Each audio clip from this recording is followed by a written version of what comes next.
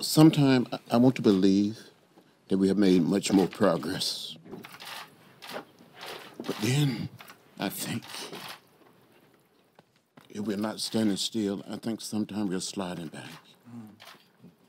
The scars and stains of racism is still deeply embedded in American society. And I think what is happening is saying that we cannot sweep it under, under the rug or in some dark corner. We have to deal with it. All of us. To remember that our struggle is not for a month, a season, or a year, but for a lifetime. Is that what it takes to build what Martin Luther King Jr. often called the beloved community, a community of peace, justice, and brotherhood.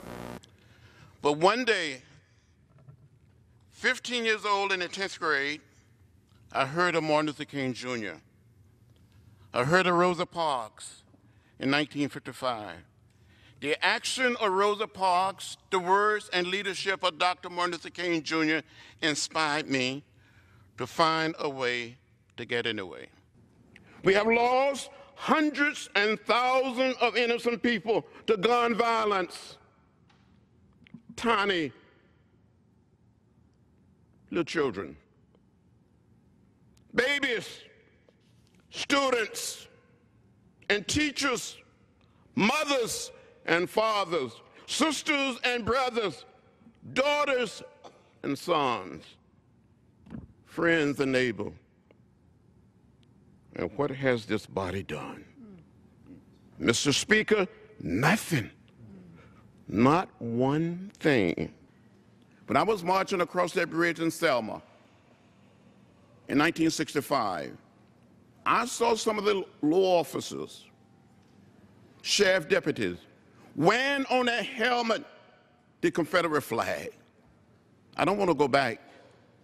And as a country, we cannot go back. We must go forward and create a community that recognizes all of us. Yes, we have come a long way, but we still have a distance to go.